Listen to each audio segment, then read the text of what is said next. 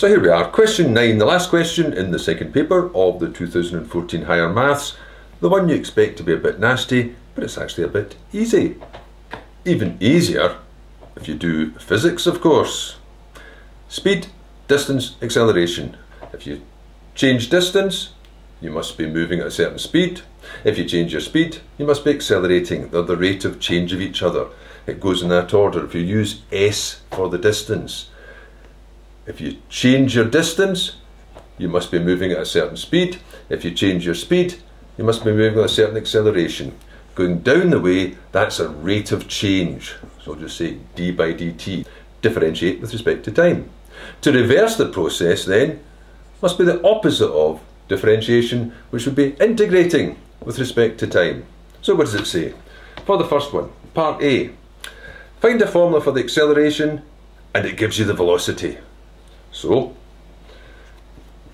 Vt is 8 cos 2t minus pi upon 2, and it wants the acceleration.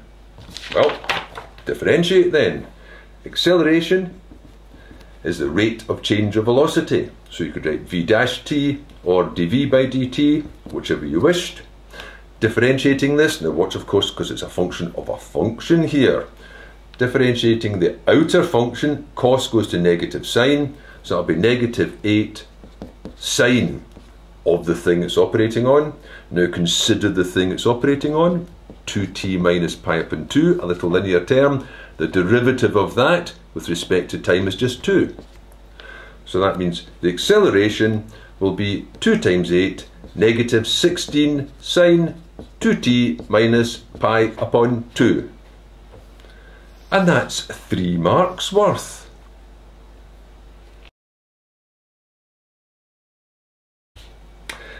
Part B. Determine whether the velocity of the object is increasing or decreasing. Is it accelerating or decelerating? It's like a gradient. Is the gradient positive going up or is the gradient negative going down? What is the acceleration?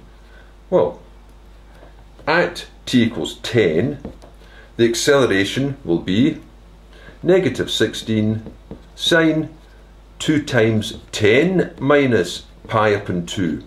And remember, in differentiation integration, the angles are measured in radians. So before you evaluate this, make sure you set your calculator to radians. Now, since it's paper 2, you could just punch that straight in but maybe I'll just evaluate this little bit first, completely unnecessarily.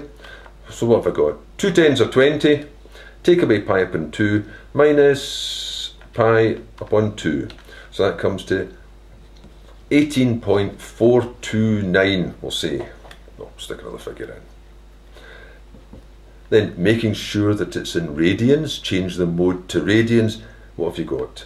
Negative 16 sine, and then either just going straight in with 20 minus pi upon 2, or that 18.4292, and you get 6.5293 and so on. Now the actual value doesn't matter, it's only whether it's positive or negative. So presume I'll have to make a statement. So I'll say this.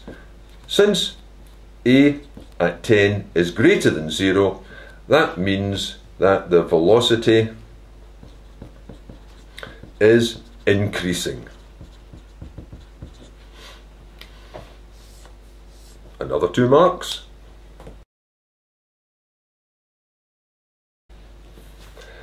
Part C then. Velocity is defined as the rate of change of displacement. There we go there. Determine the formula for the displacement. Well, that'll just mean we'll have to reverse that. We're going to integrate. So, how we're going to find this displacement, we'll integrate the velocity. Integrate v of t with respect to t. So what was this then? Here it is. 8 cos of 2t minus pi upon 2 dt. Integrating, that will go back to sine and positive sine at that, but it's a function of a function, a linear function, which it would have to be to integrate. So for this linear part, divide by its derivative. So it'll be divided by 2. And don't forget, plus c. So that means that s of t is going to be 4 sine 2t minus pi upon 2 plus c. Now, we've given values so we can find this c. It says in this part here, s of t equals 4 when t equals 0. So I can put that into that. This should come to 4 when I put 0 in for t. So 4 sine 2 times 0 minus pi upon 2 plus the c should equal 4. Well, nothing take away pi upon 2 is negative pi upon 2, and in truth you could just type that into your calculator because it is paper 2. Or you could consider the graph of sine looks like this, so that going back to negative pi upon 2 must drop it down to negative 1, which means that must be the same as 4 times negative 1 plus c is 4. Take the negative 4 across and add, and you've got c equals 8. So I can finish this off then. S of t equals 4 sine 2t minus pi upon 2 plus 8.